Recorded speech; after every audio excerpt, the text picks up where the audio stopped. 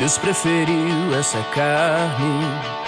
Não quis os templos que eu posso construir.